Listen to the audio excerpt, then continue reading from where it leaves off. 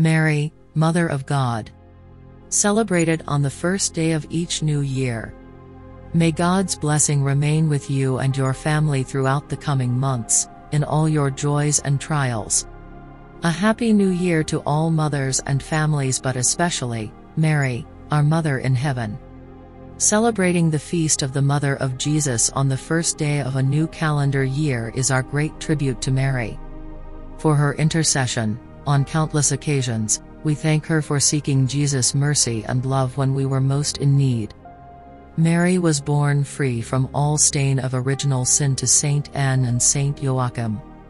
They were childless and in their old age at the time of her conception. Let's pray Mary, Queen of Heaven. Pray for us that our daily work will be the living gospel of your Son, Jesus Christ. Amen.